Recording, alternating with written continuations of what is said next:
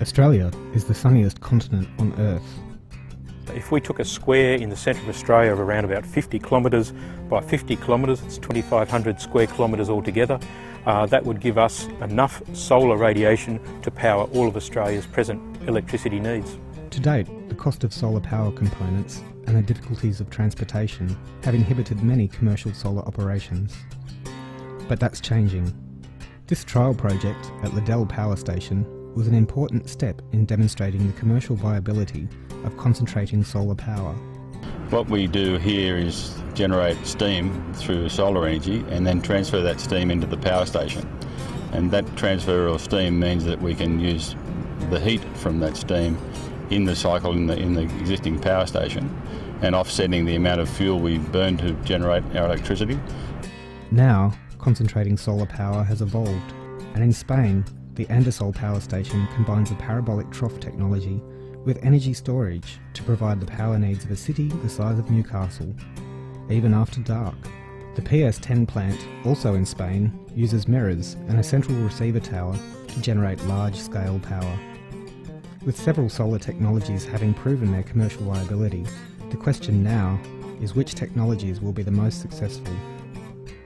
Another Australian technology is a major contender. This technology concentrates sunlight and generates temperatures anywhere from 400 degrees centigrade to over 2000 degrees centigrade.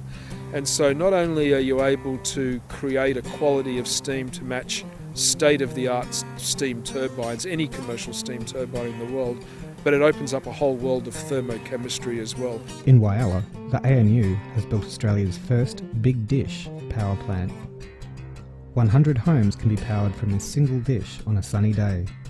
By creating modules of several dishes at a time and using storage technology, the Big Dish is a great option for sourcing large-scale, reliable solar power. I think uh, this technology is absolutely uh, world-beating technology. Um, it's uh, arguably the most efficient solar concentrator technology around the world.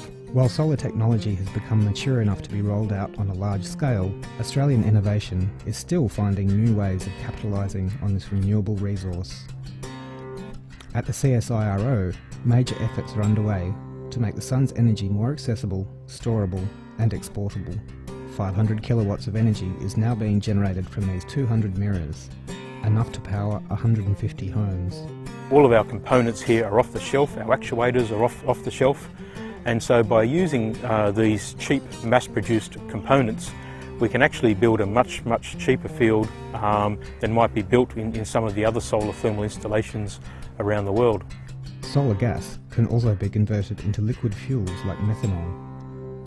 This liquid solar fuel is then transportable, and transportable means exportable. We can bottle up our sunshine, we can put it on a tanker, and we can ship it to those countries that, that need our sunshine. The technology is here. Australian government policy now needs to rise to the potential of large-scale solar power, funding major projects and providing long-term security for the industry. I've, I've, worked in the, the power industry in the past for, uh, for many years and um, so I know the realities of the power industry, um, the realities of needing to provide reliable power to people but um, you know an, an, area like this really excites me uh, because I can see that it, it, really can start to make a big impact um, on the way we use and uh, generate our electricity in the future.